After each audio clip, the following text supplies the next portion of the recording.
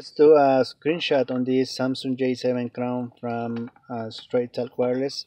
You're gonna use the volume down key and the home button for this. Okay, you're gonna press these two buttons together at the same time. Okay, that's how you take the screenshot. Uh, and you can go to your gallery and you can see the screenshot here.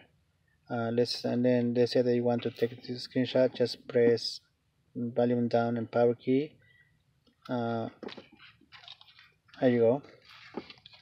And now let's go to home. Let's go back to your gallery folder. And okay there is where you're going to find your screenshots. So let's go back here. Yep that's the pictures. Alright so it is how to take screenshot on this Samsung J7 remember volume down and home key same time uh, please subscribe to my channel and find me other tutorials about this uh, model if in case that you forget your password pattern or pin or blocking the screen of your phone um, or talkback voice assistant has been activated by accident I have another tutorial how to uh, disable that feature.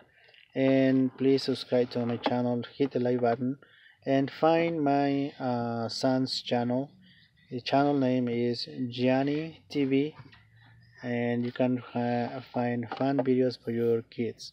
Thank you for your time and subscribe